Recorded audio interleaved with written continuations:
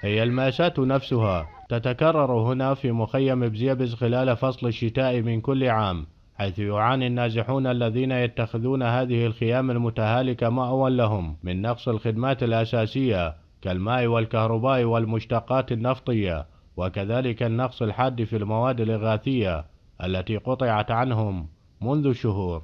والله يا ماما قاعدين هاي ثمان سنين. قاعدين بهالضيم بالخرج والله الخرج بشتي بشتي ثلجا علينا. شلون عبايك حاطنا بثلج كهرباء ماكو. كهرباء من ال...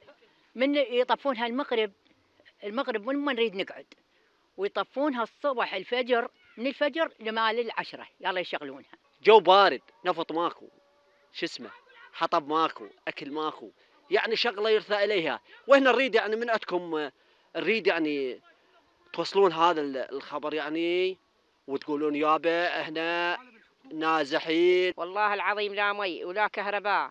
يعني في الحالة وين نروح؟ وعندنا يتام هنا. حتى المتبرع أصلا اللي يجي لهنا والله العظيم قام عن النفاق ما يجي علينا.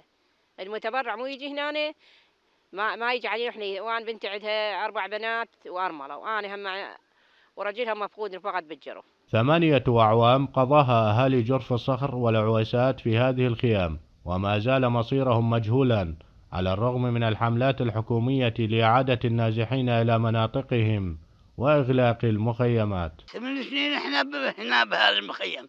حتى تراب عيوننا راحت من التراب لا لا قطرة أكو لا صوبة أكو لا شو اسمه أكو. كل شيء ماكو. غير بس رحمة الله. صارنا ثمان سنوات ما نعرف شنو عاش قاعدين هنا. لا إحنا مجرمين حتى يحاسبونا. يعني أنا حالي حال داعشي دابين هنا.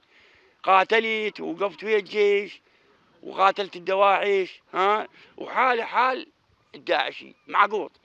أريد من الحكومة يصد علينا. وبحسب إحصاءات رسمية فإن نحو ثلاثة آلاف عائلة من جرف الصخر ما زالت تعيش ظروف التهجير خارج مناطقها. من بينهم خمسة آلاف نازح يعيشون في دور مستأجرة أو خيام في قضاء العامرية في الأنبار. لقناة التغيير أحمد الحمداني. الأنبار.